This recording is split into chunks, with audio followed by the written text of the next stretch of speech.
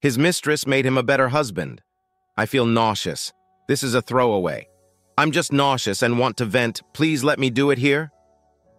Everything changed about three years ago, and my husband became my dream man. Before that, we suffered a lot in our marriage. After two hard pregnancies and PPD, my libido was diminished and we fought all the time. After four years of dead bedroom, we started therapy. I thought that was where the improvement came from. My husband started paying attention to me.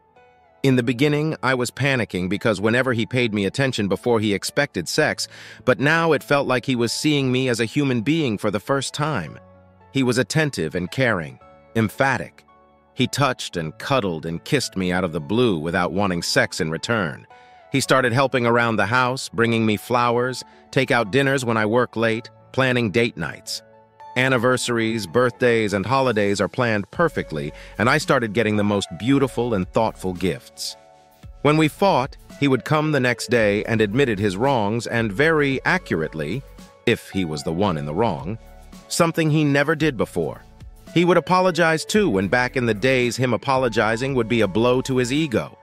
He said he was happy all the time and lucky to have us as his family. Everything was better and I even got my libido back, if not as high as I hoped. I found their conversation about five days ago, and I have probably spent over 50 hours reading them. Three years worth of conversation.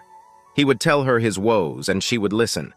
99 out of 100 times she sided with me. She taught him about intimacy and how important it is in marriages. The tragically funny part is that he never got angry or offended by her telling him off, calling him silly, stubborn, or at times man-baby. Her honesty was brutal, and yet he agreed with her.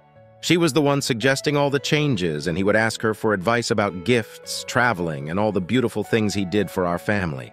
He thanks her all the time for helping him turn his miserable home life around, making it tolerable.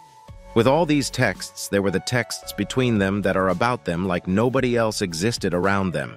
The flirting, sex talk, and pictures, the longing to see each other. He says she is the love of his life every day, and that he wishes their circumstances were different. She says the same. They both agree that divorce would ruin their families and that they couldn't be that selfish.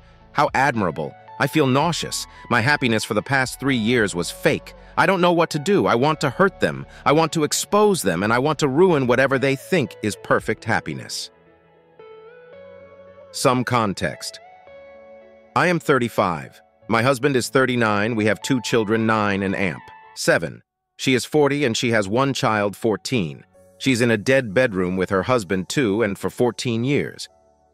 The affair is physical, too, yes, but they meet maybe once every month or every other month.